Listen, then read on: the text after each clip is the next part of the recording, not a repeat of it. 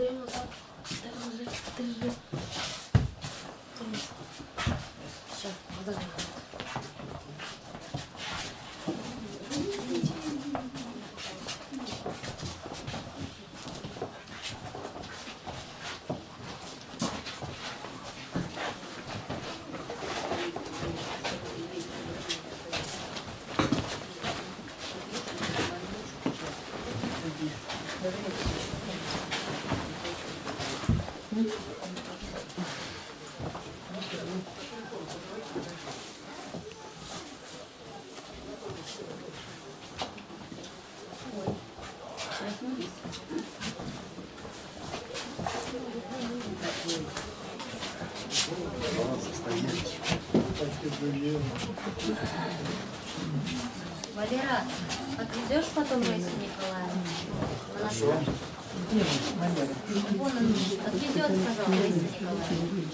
Я с тобой. Вадим, Вадим, дай мне картоночку. Что, замерзли, что ли? Я голая, вообще голая, в одной лодке. Я знаю, я знаю. Я что, четыре?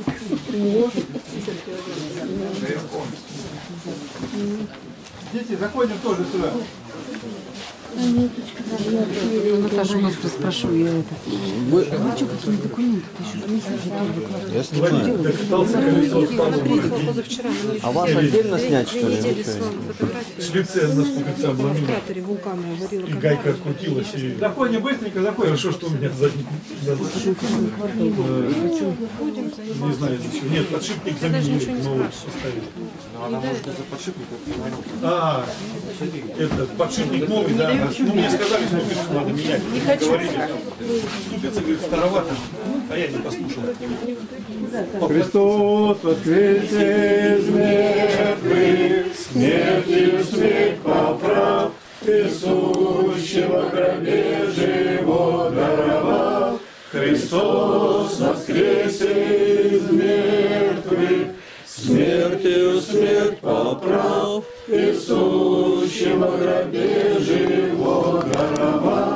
Христос воскресе из мертвых, смертью смерть поправ, и гробе живо даровав. Господь наш и Бог наш, Иисус Христос, молим Тебя, прибудь с нами, благослови наше собрание, отверзи наши уши, чтобы они слышали Слово Твое Святое, и отверзи наши глаза, мы не как слепорожденные, но духовные наши очи открой, Господи, чтобы они всегда зрели истину Твою. Тебе славу высылаем Отцу и Сыну и Святому Духу, ныне всегда и во веки веков. Аминь. Аминь.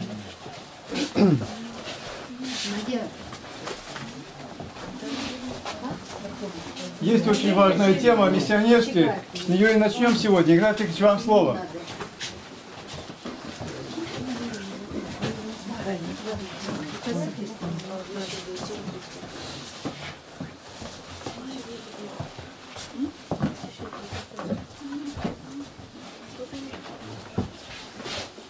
Постарайся, чтобы все значили. Никогда не повторится.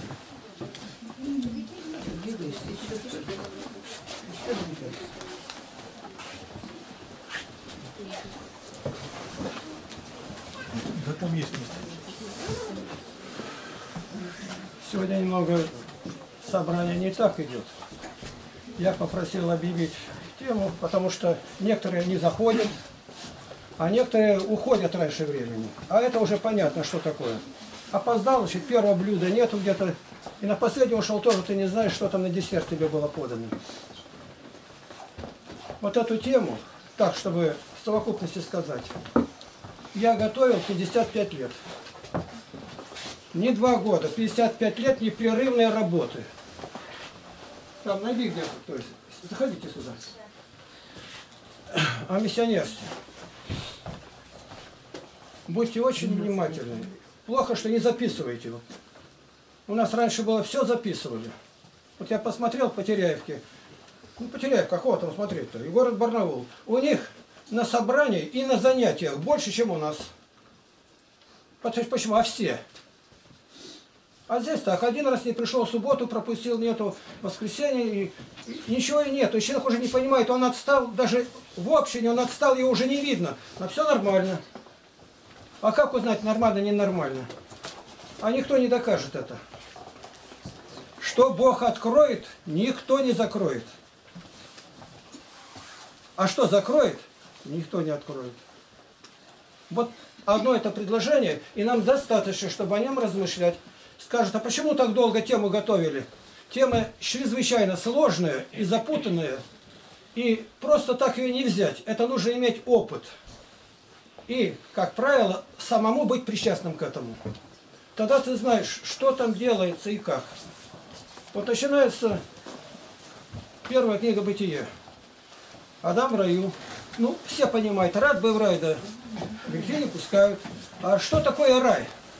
Кое-где описано. Как будет в Царстве Небесном, глаз не видел, ухо не слышало, и на сердце ни одному писателю не приходило фантазию, что Бог приготовил любящим его. Это нельзя описать. Мне пришлось беседовать с одним человеком, который в шахте был, его там задавило, говорит, ну а потом стал живой. Ну, говорят, клиническая смерть-то была или что-то. И он рассказывает, и запинается, говорю, что а я не могу, говорит, рассказать.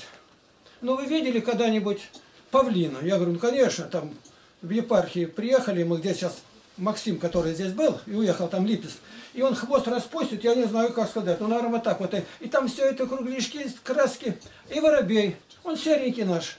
Ну, разница есть, да как разница? Так вот, на, э, который там, говорит, воробьем, если считать, в раю, вот у нас такой, такая же разница.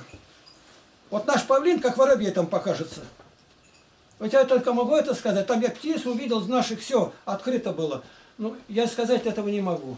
Но мы знаем, что подошел змей. Откуда он взялся змей-то? Почему не говорится?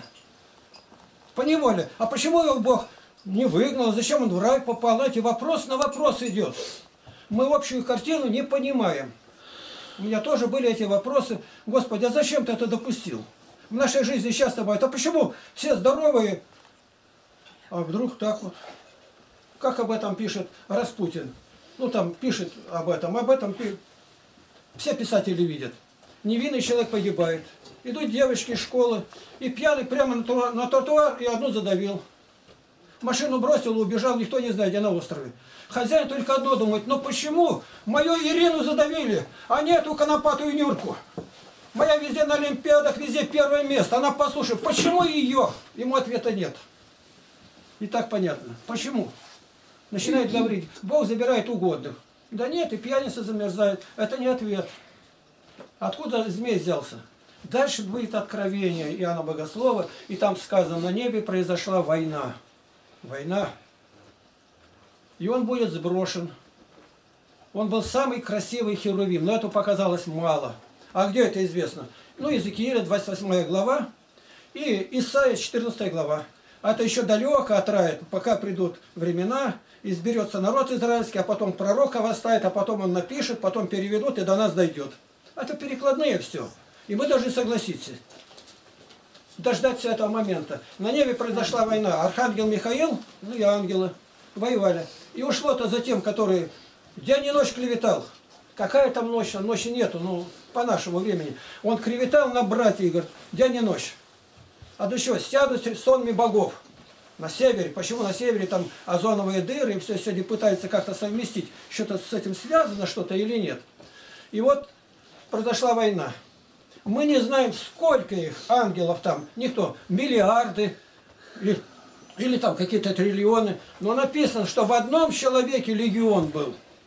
В одном. Как тебе имя? Тебе, оказывается, не тебе, а вам надо было сказать. Это было сокрыто. А как тебе имя? Легион. А что такое легион? Ну, если по римским цифрам, во- воинская какая-то определенная часть, это 2000.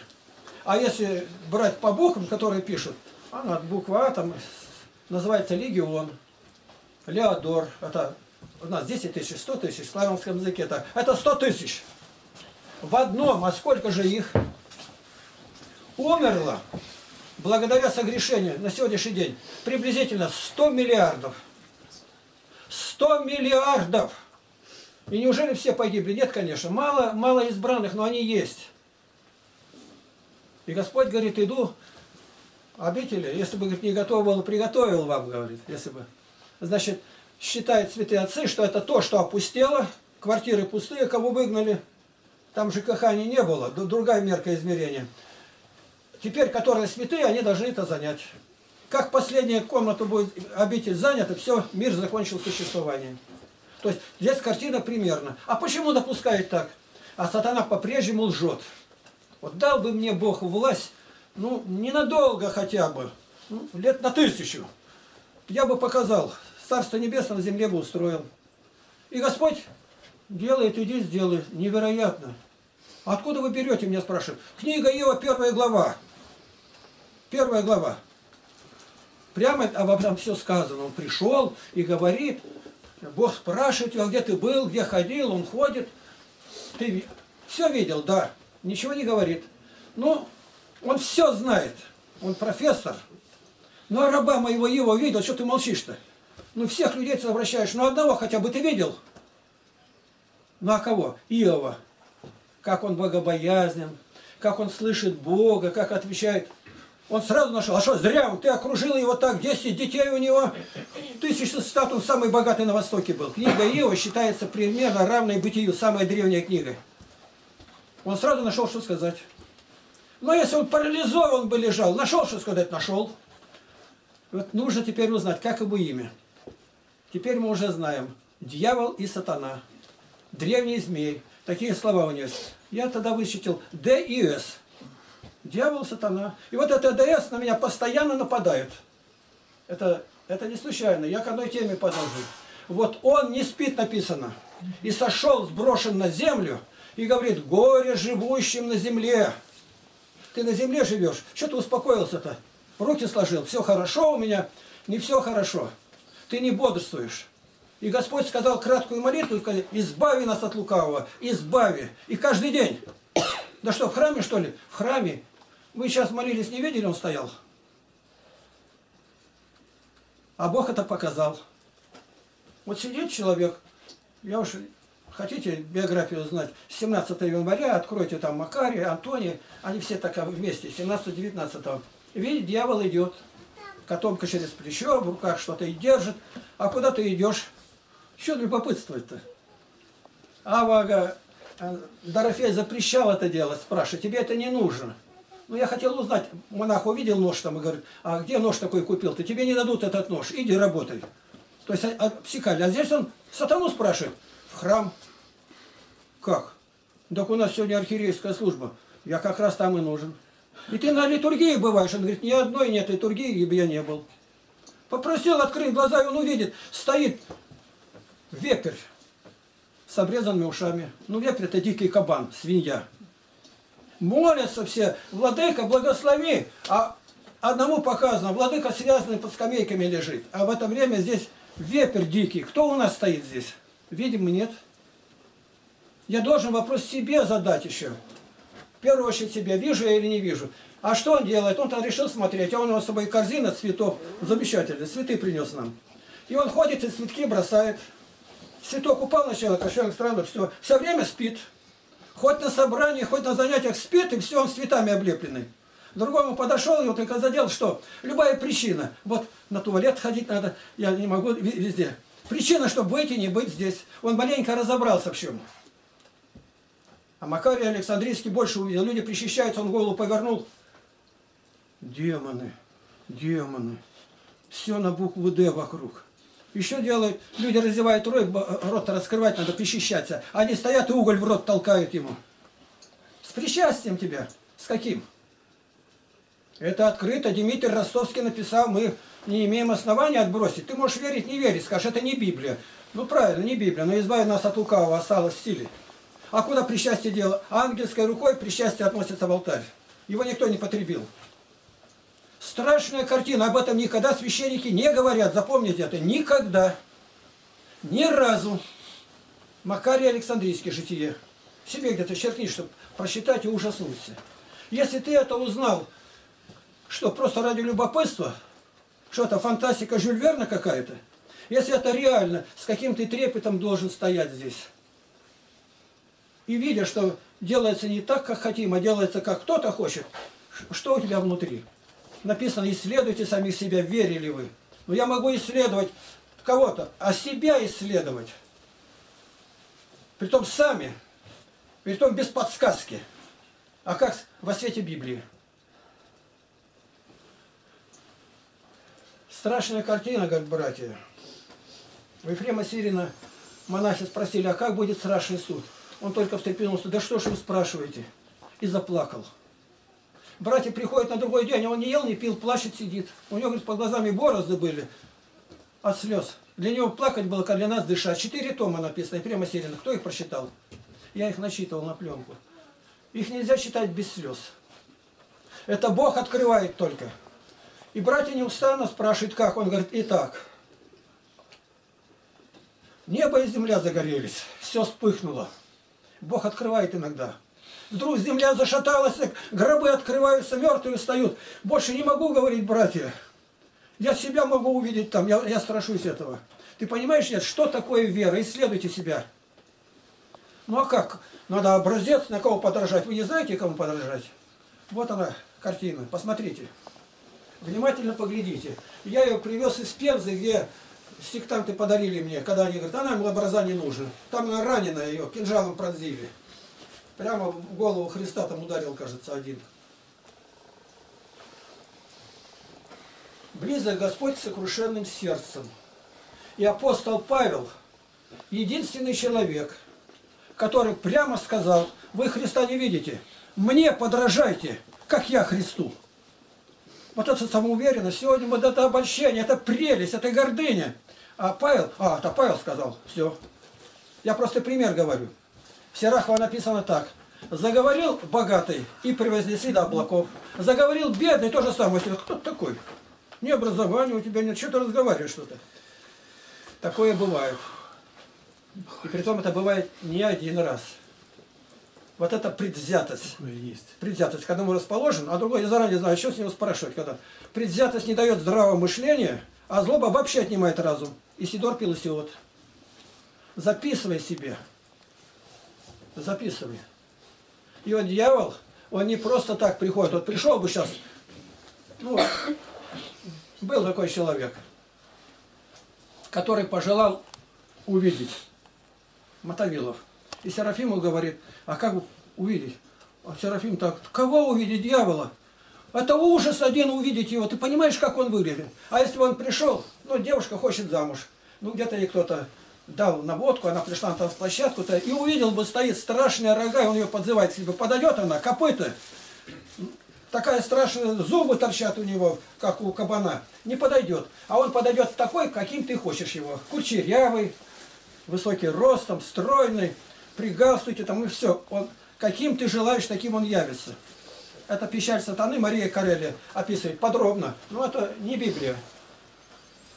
Нам нужно увидеть его и объявить войну. Войну объявить давно надо было, а кое-кто все еще не знает этого. А как где это известно? Ну где? Послание к римлянам, 16 глава, 20 стих. И Господь сокрушит его. Почему? Иоанн говорит, богослов, тот, кто в нас, больше того, кто в мире.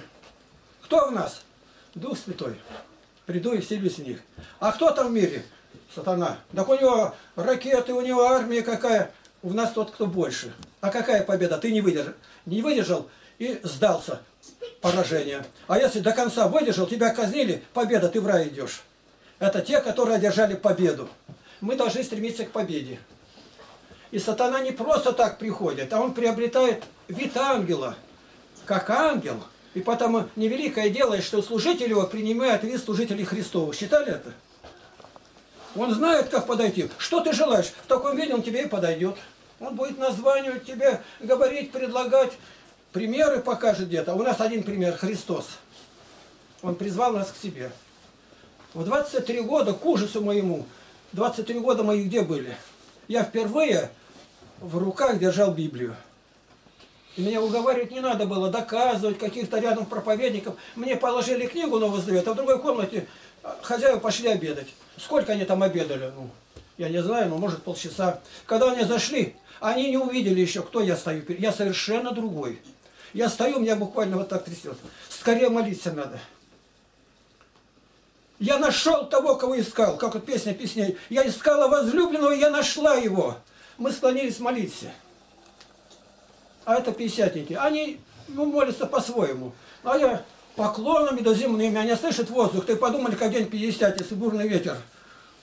Потом они мне все рассказывают. Подумали, говорят, пускай хоть так молятся. Они еще не знали, что здесь совершилось до конца. Кто видел ролик, когда ездили туда и зашел в Венспилсе? На то место отблагодарить. А дома того нет. Люди те умерли, Еремеева Михаил Александрович, Анна Демидовна. Их нету. Дом стоял. Так, стучали везде. Одна бабка говорит, я знаю, вот здесь она все время живет. Не можем достучаться, давайте помолимся. И наконец через дверь заговорила, а соседка звонит-то. И она открыла. Я говорю, такие были, да, были. Сначала Михаил умер, а он в блокадном Ленинграде был зенитчиком в армии. Такая рука у него не поворачивалась, но... И она потом уехала куда-то там, и там она умерла, говорит. Вот я теперь узнал. А где вот это сейчас большая какая-то компания по медицинским там каким-то товарам, что-то такое вот, и со стоматологией связано. Я подошел рядом, кто там был? Виктор Николаевич Савченко и Кручина Николай Павлович. И я молился там.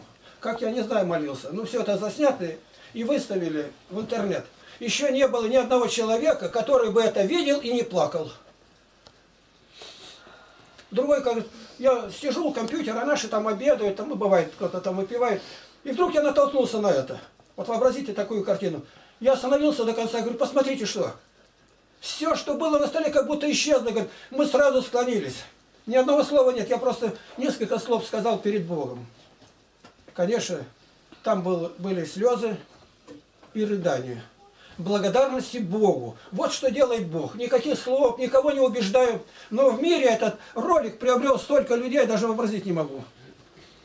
Это целое отдело надо, какие-то работать надо. А ничего там нету. А почему? Вы даже не знаете, что ли. Это сегодня оттуда как жаром пышется этого ролика. Это молитва. Я не знал это, это не мое. Это такого чувства не бывает просто так. Я захотел и сейчас бы не мог встать от слез. Я упал, молился, поднимал руки и снова падал. Дьявол тут не подступает, он сгорает тогда. Вот близко не приблизится. И вот самый большой обман, я говорю АСД, сатана дьявол. Потом я заметил, что почему-то люди начинают, которые нападают, особенно меня, они как-то связаны, то имя, то фамилия с этой буквой. Господь меня как бы настораживает. Будь внимательным. И вот здесь открывается то, что нельзя увидеть. Подражайте мне, как я Христу, а потом подражайте тем, кто видите тот образ, который я показался, ни одному Павлу другого. Мы ничего не можем о себе сказать. Кроме того, что сегодня нас научили, я грешный, супер грешный, архигрешный, это никого не привлекает. Да, я не знал Бога, да, я гнал церковь, я преследовал, я давил, я недостоин называться апостолом. Ну, знаете, кто сказал это? Я хочу подвести по порядку. Три существует категории людей, которым дан дар слова. Это первый проповедник. Проповедник. Хорошо вникните в это слово. А вы знаете хороших проповедников? Ну, я не всех, но кое-кого знаю. И кто самый лучший из них? Адольф Гитлер, Шикель Грубер, фамилия его. Ленин, Владимир Ульянов, Владимир Ильич. Так, Кастро, Фидель Кастро, Керенский, Александр Федорович. То есть, ну, это единицы настоящие, других там много, там, которые повторяют там. А почему? Они увлекли массы людей за собой. Они говорили слово часами, как Керенский. Три часа. И у него, он бумажки не смотрел. Это открыто. А куда они ведут, эти проповедники? Что они проповедуют? А что надо? Благовестие. Благая весть, даром благая, добрая, сошла с неба, какая? Христос. В речи только звучит имя Иисуса Христа. Благая весть она меня коснулась, и я другим передаю. А это можно научить? Можно говорить. Говорить правильно все. В Америке говорит, ну есть такие, которые знают все. И они сегодня методистам, завтра баптистам, послезавтра православным, кто там, я не знаю, православных было, нет, но другие. Ему платят деньги ну, за проповедь где-то. Он приходит, все плачут, он всех может растрогать. Он артист. Вот кто слышал, у нас запись была, как-то он к нам приходил, Овчинников Эдуард Дмитриевич. Потом он сделался директором здесь малого театра, драматического или какого. И он насчитывает, книга удивительным образом ко мне попала, из Грузии я привез на короткое время. И он насчитывал дочь Ефая. Как он с фронта идет и как... Это у нас стоит все в интернете, на нашем сайте. Вот сколько раз я потом прослушал, я ни разу не мог прослушать, чтобы глаза не уложить слезами. Он говорит и рыдает, он, он артист, но сам по себе он неверующий. Жена только его однажды сказала, кому вы приходите? Ну, а его дома не было, она маленько открылась так. Да мы же эти артисты. Ну, так что? Вы ничего не знаете, оказывается. А где муж? Ну, новая артистка где-то, на три ночи ушел к ней. И она спокойно так это все говорит. Это артисты. Почему эта зараза отмечена даже так? Если кандидатура на священника, он должен жениться только на девственнице. А если женился, она артистка и девственница, приравнивается к блуднице. Это в Новом Завете. Как сказать? Когда Евангелие стал читать, ну, Бог дал мне памяти, наследственно от отца, у него просто феноменальнейшая память была, и Божья милость, все это совместилось во мне. И вот я читаю, как отпечатается. Первый стих во всей Библии, это Евангелие от Иоанна, 8 глава, 44 стих. Я его мгновенно ухватил и сразу понял. Все. Меня нету. Теперь я вооружен и знаю, что где выявлять. Ваш отец дьявол. И вы хотите исполнять похоти отца вашего. Когда он говорит ложь, говорит свое, ибо он лжец и отец лжи. Знаете, дети врать любят как. Ну, комната высокая, заходит, а, там а мать или кто-то работает, пришли, а люстра валяется. Они прям сходу, это не мы, это котенок, он прыгал и сбил. Ну, котенок посреди комнаты. Он не знает еще, врать-то не умеет, но уже надо. Это котенок сбил люстру-то. А они тут футбол играли, оказывается. Заметьте в детях своих, в каком ребенке вы ни разу не видели лжи я подвожу к главному, самому последнему вопросу. Когда это было? Себя проверь. Есть такие дети, которые не солгали ни разу. И вы их встречали редко. Но я начальник детского лагеря, 45, уже 46 лет, тысячи детей. Я всегда ставил себе задачу найти среди них избранного Богом. Я молча исследовал, смотрел, и как это делается – я несколько примеров мог бы только показать. Это ее, может, даже слышали рассказ. Берем малину, а в это время одного человека нет. Я вижу, детей-то одного нету. А где он? Он мне говорит, а он там подальше ушел один. Да он... Я сказал, кружки набирать малину, а потом с молоком. А он, говорит, не берет, все в рот себе кладет. Я сказал, не трогать. Я потихоньку между кустами, а он берет ягодку, сорвал святые, боже, другая, святые крепкие, святые бессмертные, я тихим ходом задним, он берет и берет хорошо. Мы не знаем, насколько в нем это задержится, как это... но в данный момент все понятно. Славословие Иисусу. Я простые эти слова сказал в камере, с одной сидел один, и он три дня плакал. Редкин Владимир Прокопьевич, кажется, из Бийска. Я говорю, а что ты плачешь-то? Нас отдельно отделили, в отдельной камере, в подвал туда загнали, где убийцы только сидят, а нам только это и надо, мы поем. А он ходит, скамейки все это прикручены, железные, Господи, отец Игнатий, святые Боже, святые крепкие, а у меня-то дети-то, да какие же они злые, это между собой дерутся все время. Приходят из школы, даже злые слова говорят, учатся. Маленько погодя, ну что плачешь, он полотенце повешал, вот такой вот живот у него. В течение двух недель ничего не оставил. Обвисло, ничего нету. Он не стал есть. Достали чашку пустую, а за нами глазок смотрит, и он щерпает, а чашка стоит там, у стола там еще как полочка такая-то, как все утошнил, тогда в туалет, Господи, прости, пускай рыбки едят. Неделя, в рот еще не было. Володя, хоть маленько ты поешь. Отец и дети-то злые, и сам-то я где нахожусь. Нас он покаялся во всех грехах. Это в камере. Я просто хочу показать, где. Володя, ты лжи где ты говорил, ложь говорил. Да все на лжи построено. Нас выпускал особая э, такие аппаратура какая-то, ценная была. Ну, я где-то раздавал по указанию директора. Ну, кого ты сказал это на допросе? Нет. А почему? Ну, первый я дал Алтайском края КГБ, я начальнику отдал, как я ему скажу, ты меня задавят здесь. А это, а это директору другому там показал главный завод. Меня послали, я выполнил. А теперь-то его виновным делают. Значит так, стучи в дверь сейчас. Подойдут охранники и скажите, вызовите ко мне следователя. Я все лгал, сейчас буду говорить правду. Вызвали следователя. Теперь приготовься умирать. Тебя они не выпустят. А если выпустят, живи не для себя. И все так и получилось. Теперь он заново все раскрывает. Для следователя там находка. Как вы его раскололи-то? Я не колол ничего. Я ему говорил о Боге, и что лжец в Царстве Божие не попадает.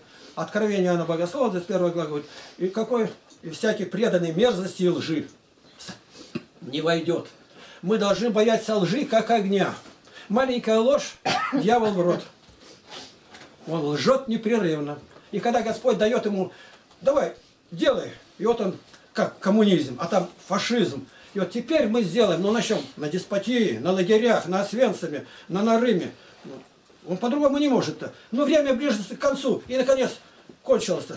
Фашизма нет, коммунизма нету. Бились два змея, как книга из там. А теперь что? А теперь ничего нету. Теперь, говорит, ангелы рукоплещут. Не получилось ничего у тебя, не получилось. Ни на небе не получилось, здесь Бог дал тебе власть, не получилось. Ты лжец. Он стоит и как так? А он берет так, если здание трещины вот такие вот дало, он, не, ск- он берет грязь и говорит, ты замазывает. Пророк Иеремия описывает это. И чисто, нормально. А когда рушится, он отскочил, а все погибли. Ну как? Главарей фашизма повесили.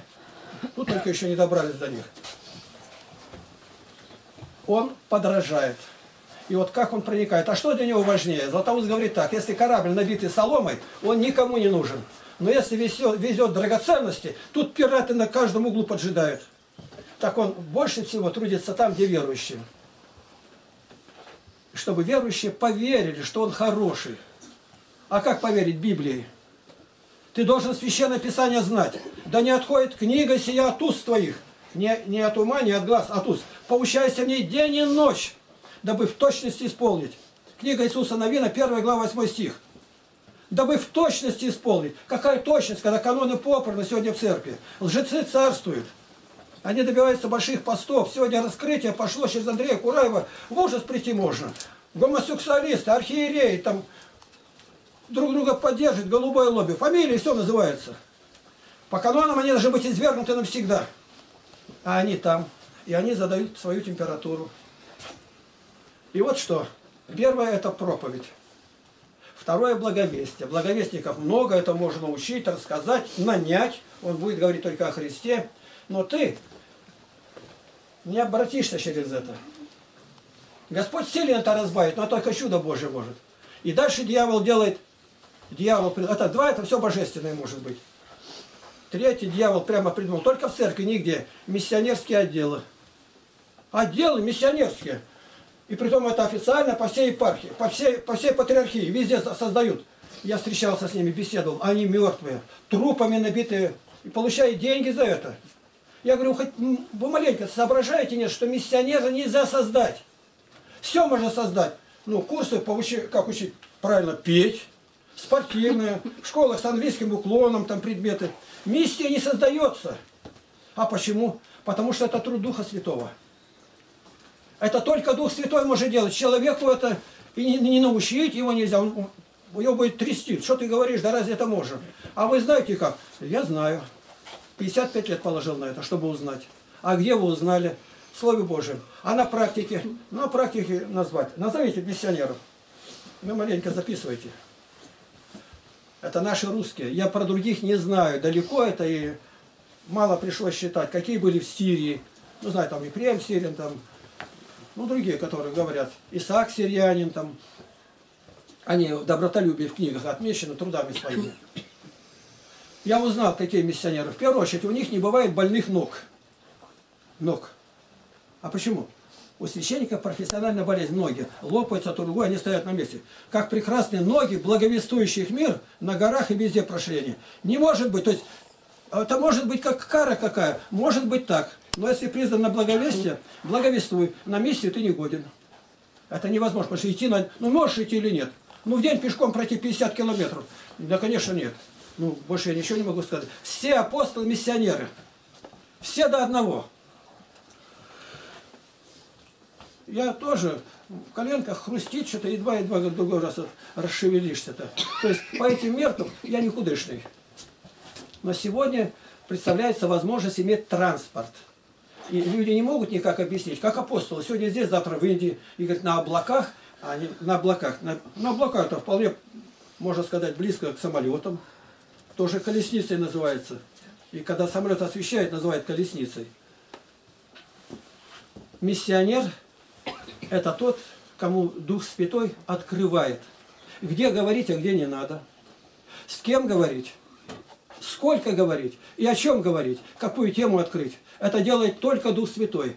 Почему Ян Златоуст говорит, Деяния апостолов – это неправильное название. Этой книги должно быть такое – Деяние Духа Святого.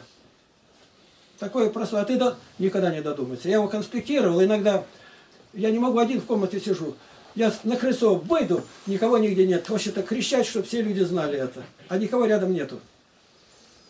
И Господь посылает только по двое. 12 считаем, Евангелие от Матфея, по двое. А почему не по трое, почему не по одному? По одному еще бы больше было. Двое. Потом избирают еще 70. И написано, и послал их по двое. Что, непонятно? Женщина одна? Нет, конечно.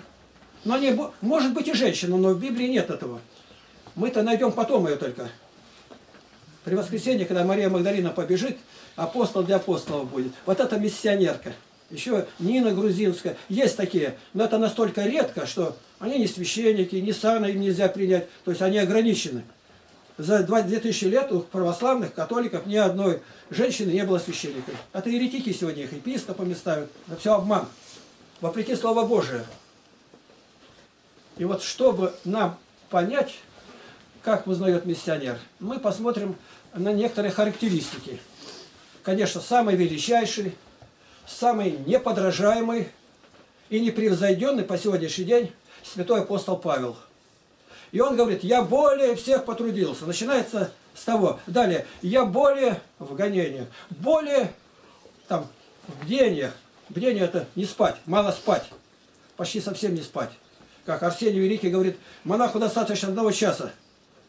Но я один час не мог, два с половиной было. Но я знаю, вот Елизаров, врач, который костник был, у него выходило не больше трех часов. Не больше трех.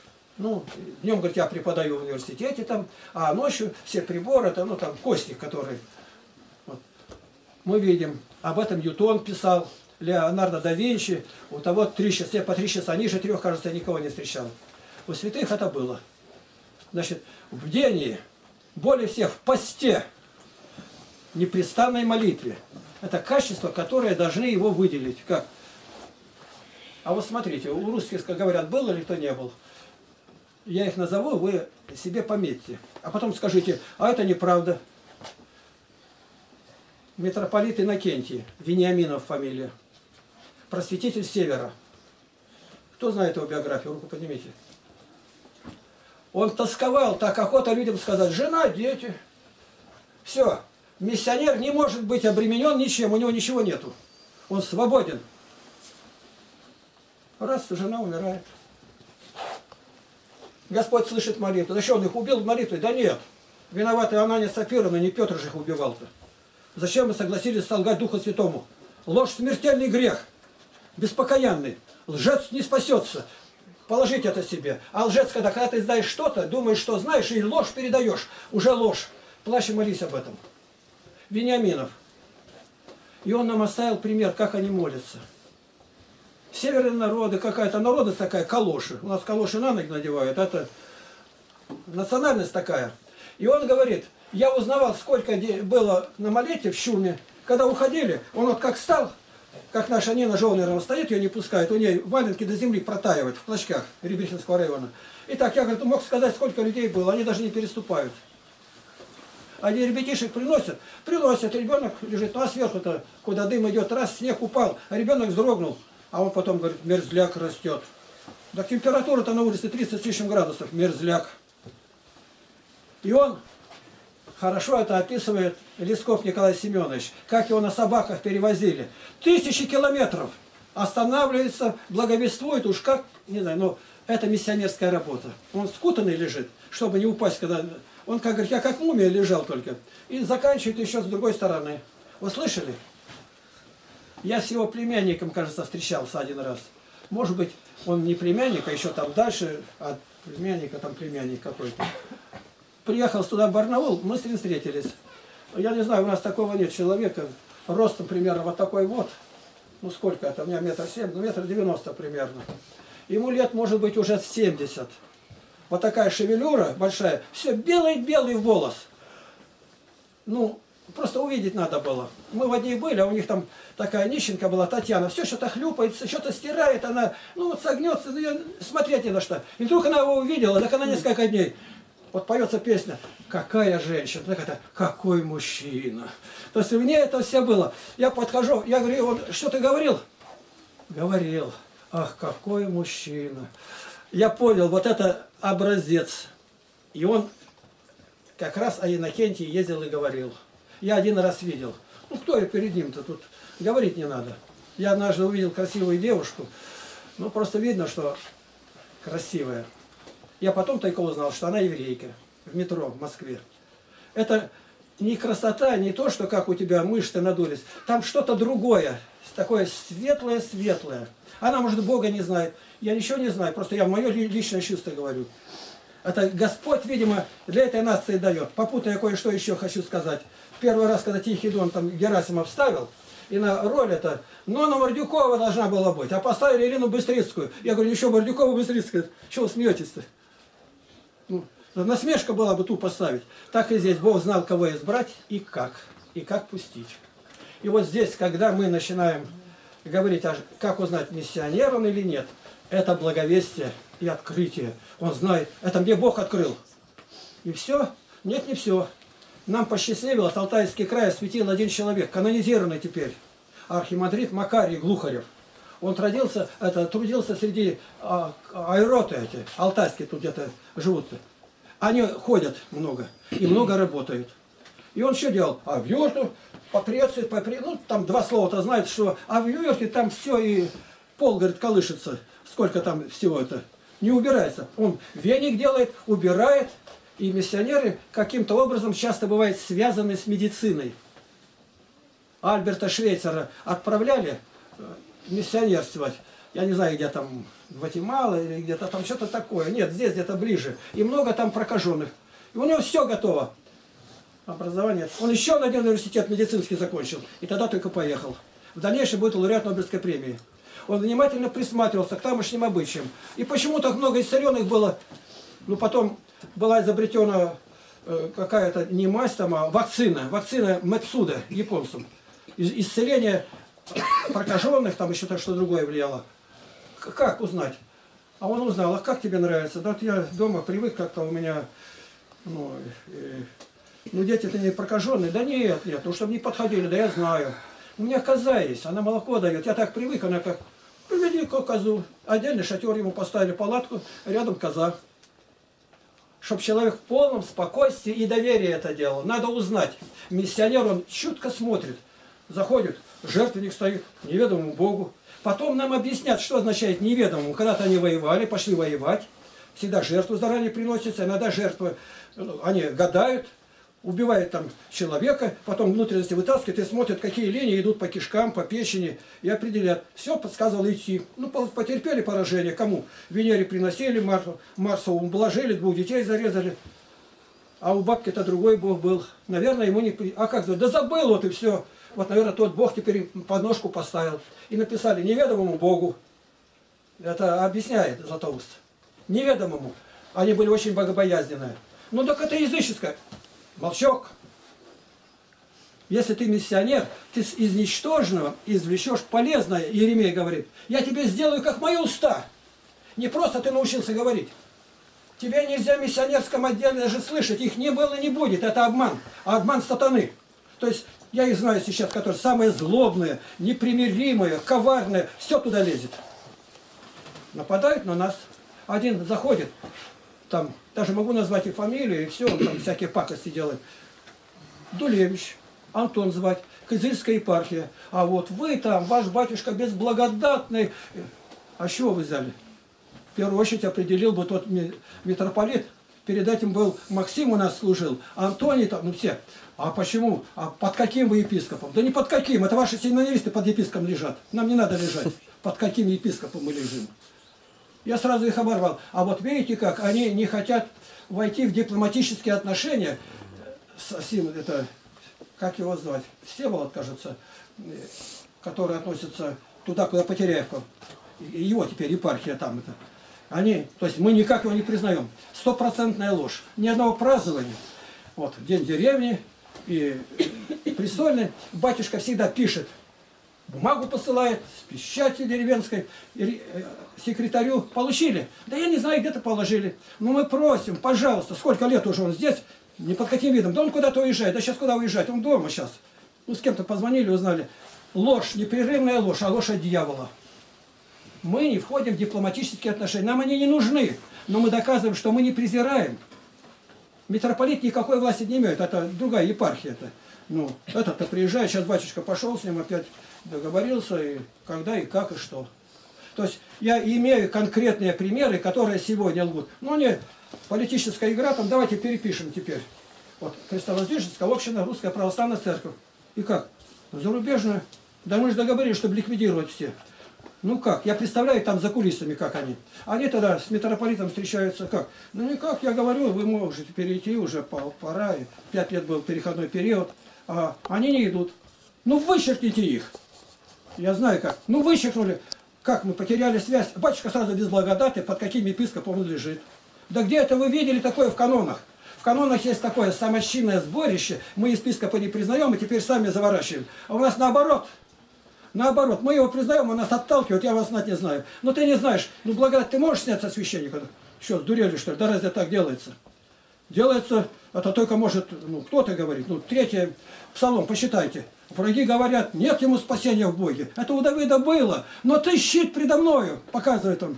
Посчитайте третий псалом, запиши себе. То есть ложь. И вот они организуют миссионерские отделы. Я с кое с кем знакомый, посмотрел. Большего обмана на земле нет. И этот обман давным-давно. А вы в Писании другие, да, дальние, ну я могу назвать еще Стефан Пермский с какими небольшими так, ну, шероховатостями, но это миссионер был. Весь зырянский народ обратился. Николай Японский, Касаткин. Японию. Он рвался и послали, изучил язык и стал все говорить. И заметьте, как он тонко реагирует. Вот раз, 905 год. Война. Война с Россией. Япония напала. Что делать? Еще ничего нету. Война еще только начинается.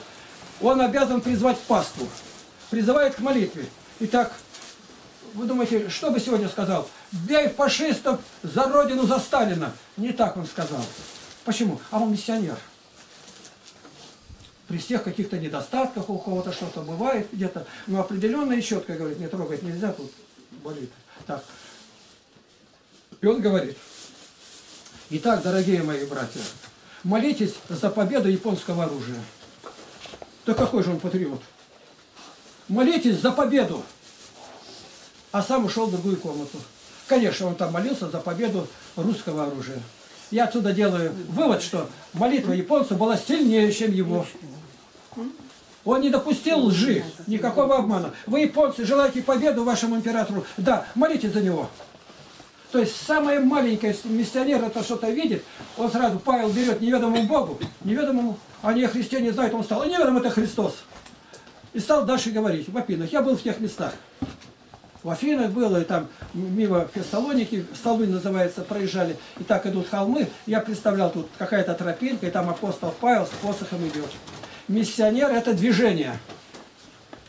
Миссионер – это связь с Духом Святым. Он никогда не скажет, что сказал Серафим Саровский. Он говорит, когда Дух Святой покидал меня, я говорил, ошибался, вот как он говорит. Тогда я ошибался. Но Серафим Саровский с этой комнаты сказал, он такую фразу дал, которую за тысячелетия никто не говорил. Смысл жизни, цель, стяжание Духа Святого. Дальше он не пошел. Почему? Дальше он нарушение делает. Стяжание, а зачем он тебе Дух Святой? Дух-то Святой зачем тебе нужен? Ты открой Евангелие от Луки.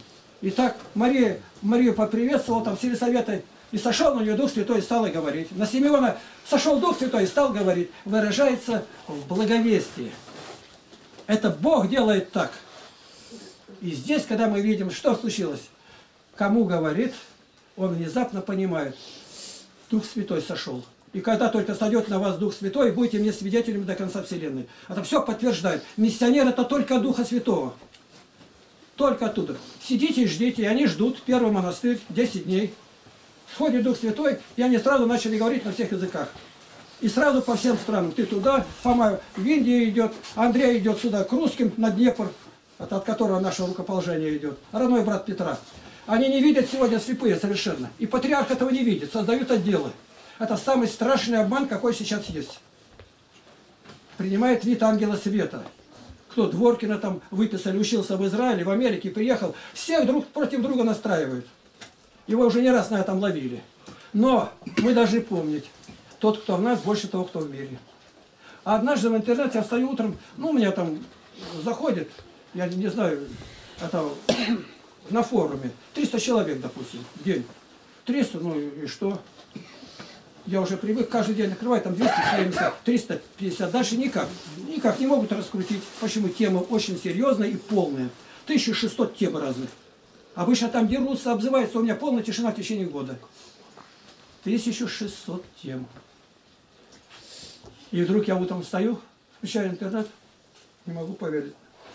Никита, ну посмотри, еще тут 6 тысяч. Да как так 6 тысяч? Да это вчера было 300, а сегодня 6 тысяч. Я ничего не знаю. А потом, оказывается, в этот день они на рождественских чтениях меня полощут. У них было 20 тем, одна посвящалась Игнатию Тихоновичу Лаптину. И там Дворкина обращается, и он говорит, Макс, обратиться к, к нашему архиерею Сергию Иванникову. Да, митрополит не будет заниматься где-то. Так, и надо обратиться в Роспотребнадзор. Потом будет гонение, мы лишимся лагеря. Это все их. Это миссионеры собрались. А теперь, когда это мне прислали, аудио, там, там аудиозапись, а Никита все перепечатал, теперь в у меня есть. Поэтому я вспоминаю проректора по учебной части ГТУ Семкина Бориса Васильевича. Он говорит, про меня статья была, там Быхов писатель написал, по Терябку приезжал, Лев Дмитриевич. И он говорит, всякая вот эта анти как пропаганда или что-то, это как раз за это, что за вас будут больше смотреть. Они зашли, столько людей зашло. Ну, потом Аташа вернулась на прежнее. Но один раз они заглянули, людей было много и прочее. Так вот, мы должны вопиять к Богу о исполнении Духом Святым. Повторяю, у человека две миссии. Первое – родиться свыше и другим рассказать, и быть водимым Духом Божьим. Если этого нет, ничего нету. Одни ошибки будут. Непрерывно будет человек спотыкаться. Вот смотрите, я хотел бы узнать вот, тайны, которые не открываются. Серафим Саровский. Он миссионер, конечно, нет. Какой миссионер сидит? Миссионер идет, он сидел. Но ему Бог открывал. И однажды Бог ему положил на сердце молиться не за царя, которого расстреляют, а за священников, за архиереев. И он три дня на камушке своем стоит, я не знаю как, ну, говорит, поднимал руки, может так стоял, три дня, отдыхал в это время, ложился, не написано. Три дня и три ночи, Господи, пощади архиереев русских, ой, Господи, да они же все погибшие. И вдруг Бог заговорил с ним. Прямая речь, кавычки здесь открывается, и Бог сказал, не пощажу и не помилую. Господи, а за что? За то, что они заменили истину Божью ложью вымыслами человеческими. 118 Псалом, 113 стих. Вымыслы человеческие ненавижу, а закон твой люблю. Вы берете, где Серафим, да он такой. Самый капитальный труд, я сейчас не знаю сколько, тогда было 9 томов, настольной книги священнослужителя, там страниц по 700. По благословению патриарха Пимена. Третий том, 601 страница. Где вот этот материал Серафима Саровского? То есть миссионер, он не сам это делает. Ему Господь открывает. Потому что сегодня? Программу патриарх поставил. В Москве добавить еще 200 храмов построить. Ну, 200 храмов, это... Понимаете, что такое храм? Это надо место. Но приходят, начинают мерить, землемеры, на них там президент, за них народу сколько собирается, люди ломать, все, не давать, не давать, негде детям выйти-то. Храмы-то пустые. Что там, я видел в интернете, это ужас какой. Еще храма нет, уже все против настроены. Какие же это миссионеры? Это самые крупные злодеи. Посмотри, как они бьются, люди. Ну, некуда выйти даже. И храм стоит куда? Дверям подперли-то. А это храм один, это еще какие-то сооружения рядом строятся-то. 200 в одной Москве. Значит, Дух Святой обязательно покажет тебе, надо это или не надо. Зачем эти храмы, как Златоуст говорит, кто бы взял ключи забросил в океан этот? Зачем это все нужно? Напрасно топчете дворы храма моего. Обычно призыв бывает дважды хотя бы, а тут трижды. Вы приходите и говорите «Храм Господень, храм Господень, храм Господень». Иеремия трижды повторяет. Но здесь камня на камне не останется. Миссионеры за это все бьются. У нас тут было, когда патриарх сказал, что обязательно были группы миссионерские. И тут, я не знаю, куда вы ездили тогда, Игорь? Какой, Болтай кому-то вы ездили? Священник, батюшки расположены, там встречались, благовествовали. Романова, что ли? А, да. Ну, Отец и все Олег. на этом заглохло. У миссионера, это вот Еремия, это как бы в крови. Я хотел, но внутри меня, в костях моих, как огонь был разлитый. Я не мог. Я не мог удержать. Его нельзя удержать. А сатана может высчитать, а их высчитывать не надо, они на виду. Поэтому, когда вот говорят, прикрываются этим словами, то тогда какое-то отношение к храму-то было не такое. Ребятишки бегают, играют в храме. И один на другого спрятался, забежал, а престол-то какой стоит, а там же материя обвешана. Он под нее туда залез, спрятался. И ищет этого Тарасика, его нигде нету. Ну и служба началась сегодня, а он уснул, ждал, ждал, уснул. И во время литургии вдруг он проснулся, и над ним голоса какие-то. Он оттуда выглянул, а его заметил, а ну-ка иди сюда. Вытащили, так, подождите, как тебя звать? Тарас. А что дальше? И они положили это знамение, что он должен быть духовным человеком. На особое внимание. Духовным человеком. Понятно? То есть признаки никакие, но он в алтарь-то не то, что любит его, а спрятался. И вот такое смотришь, какое-то юродство. В России миссионеров вообще не было. Они приезжали с лопатами рыть норы, начинали сразу же, на другой день. И притом это не день, не два. Притом все время. Мы упустили столько, когда Бог тебя откроет, ты слезами и зальешь. У тебя обезвоженный организма будет. Бог это покажет. Как могли дойти до этого состояния, что ни одного не было нигде миссионера? Ни одного. Целое столетие ни одного. Андрей Кураев недавно выставил материал подробно об этом. Говорит, вы посмотрите, сколько святых. Ну, я начитывал, скажу, житий 1173.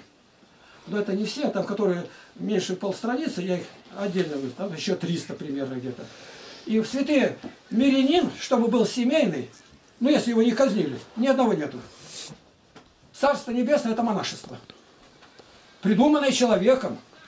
И он прямо открыто выступает. Ну покажите где. То есть захватили всю власть. Епископ должен муж одной жены. А здесь, если жена, все, смерть. Тебе никогда не быть там уже. То есть все перевернуто по-своему. Это миссия. А как? Как написано. Ты что, жена ты? Да так и было. До какого? До третьего века еще были. А потом придумали. Власть тебе. Епископ издали указ проповедовать нигде.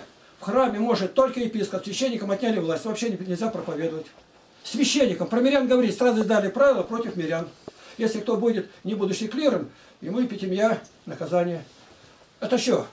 Это ну, прямо против Духа Святого идет. И как будто никто этого не видел. Как это не видеть это? Сегодня вот на этой основе, какая пришла, они считают это за основание. Вот такое пришло. Как, а как вы это характеризуете? Чума. Болезнь.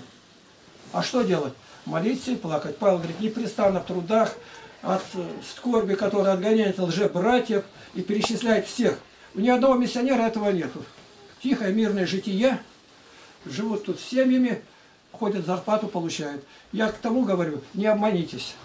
Если ты увидел ложь, ложь в малом, она потащит целую цепь за собой. Самая малая ложь должна быть отвергнута. Если ложь, вот у нас в лагере было, где-то сказал неправильно, ребенок заранее знает ложь, я его накажу. Другому там как-то все-таки найду причину и избавить его от наказания. Здесь никак. Доктор Газ, когда учил, немец был тут, врач такой, он, чтобы понять, как заключенным трудно, он надел на себя вериги и ходил там три часа от одной каторги до другой, там, строго-то. А потом уже к царю батюшке. Ну, сделайте полегче маленько. Ну, преступник, ну, жена убила мужа, все. Ну, же понимаете, что это делается. Еще до срока не дошло и уже умер. И он, когда детей учил, он говорил, вот это, вот люби Бога, люби Бога. Здесь вот тятю с мамой люби. Вот так вот. А ты, вот, а когда мизинец заходил и говорил, не лги, не лги, никогда не лги. Ребенок, давай повторим, никогда не лги. Если ты не знаешь, что точно, скажи, я вот это видел, дальше нет. Свидетели ложные. За рубежом, если свидетели вызывают в суд, у них записывают вероисповедание. Там Хохлоп как-то попался, какой-то дипломат русский или кто-то. Его спрашивают, какая вероисповедание? Он говорит, атеист. Она не поняла ничего. Как атеист? Ну, я верю, что Бог... Бога нет? Нет, она его вычеркнула, все, отойдите в сторонку. А за советских надо было заступаться. Свидетели не принимаются. Неверующего нет преград. Он что может говорить, взятка там. Вот здесь юридический университет. Ну, я не знаю, э, отдел, университет, институт, там, кафедра. Ну и опрос провели. Студенты пятого курса. Ну, представьте, вот вы сейчас закончите, вам дадут должность, ну, и будете судить где-то. А взятка вот такая, дает человек полтора миллиона. Кажется, 85% подняли руку. Мы бы пошли на это. Может, ему какая-то охранная грамота дается. Ну, думает, что не попадется. Взятка, повысили им зарплату сегодня, потом взятка уже та не идет, которая зарплата. Ее надо в 10 раз больше делать. Это те, которые на, это, на решение суда будут все ссылаться. У верующих малейшая ложь. Это камушек в сапоге твоем. Ты никуда не пойдешь. Ты остановишься и вытряхнешь его. Я сегодня хотел это и сказать. Будьте очень внимательны. Сравните со Словом Божиим. Обращайтесь к Слову Божию. Вот смотрите как. Любят люди воевать. А Слябе, Пересвет, они там были послушники, уже пострижены, видимо, и отправляют их в Сергий Радонежский. Канон есть. Кто, если приняв чин, снова возвращается в военное дело, да будет предан анафеме. Все трое даже, все, больше никто бы не ссылался. Нет, так это же за нас. Ну, что это значит? Двойная психология или как назвать? Никому не разрешается. Миссионеры ни один нигде не призывали бить врага. Ни один, нигде.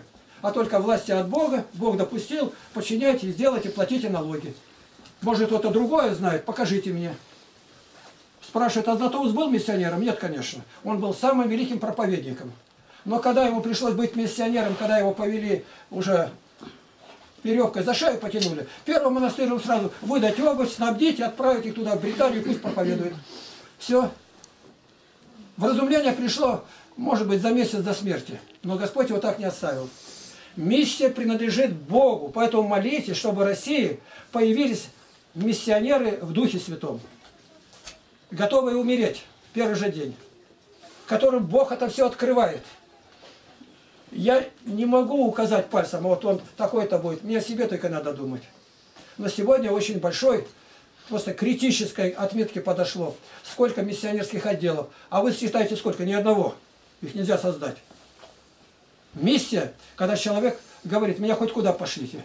У меня ничего нету. Пошлите меня в Китай, пошлите меня там в такую страну мусульманскую или куда-то. Ты это понял? Вот об этом нужно помолиться, чтобы обман этот сгинул. А то придумали, Серафим сказал, стяжит дух мирный, и спасутся вокруг тебя тысячи. То есть молчи, и вдруг они сами спасутся. Я спрашиваю, Серафим когда сказал? Ну, в 1800 там, таком-то году. Ну, было хоть где-нибудь так? Да нет, вера от слышания, от слышания Слова Божия, а не то, что мирный. Давид говорит, я мирный, но только заговорю, они к войне. Андрей Кураев обо мне пишет, к Игнатию вот по-другому бы священники относились, если бы он их не трогал, не говорил. Ну, это действительно так. Они не принимают, а кто ты такой? Заговорил бедный все, а кто ты такой? Я открыл место Писания и показал. Вот Писание говорит, идите и проповедуйте Евангелие всей твари. А кто? Все. Деяния апостолов, 8 глава, 4 стих. Апостолы остались в Иерусалиме, самое сложное, а оставшиеся, рассеявшиеся, ходили и благовествовали. Сегодня много разговоров идет о миссии. Миссия у человека была, Гитлер считал себя, он тоже выполняет миссию привести народ к счастью. Ну, ну и понятно. Это и Ленин говорил, 90 человек в отвал, а 10 мы железной рукой приведем в коммунизм. У Бога не так. Вот эта миссия, миссия которая Мессия придет, Машах, евреи, они дождутся, воссядет Антихрист. Еврейский Машах. Для него все это делается. И основано все это не на правде. Там, где правда, там звучит Аллилуйя. Где правда, там Павел говорит, я непрестанно в трудах, в слезах. Спроси миссионер ты, когда ты плакал последний раз? И не от чего-то, что там жена ушла, а из-за того, что люди не спасаются, что их обманывают. И ты это понимаешь, и ничего нельзя сделать. Богу нашему славу. Аминь. Можешь поговорить. Оторви это.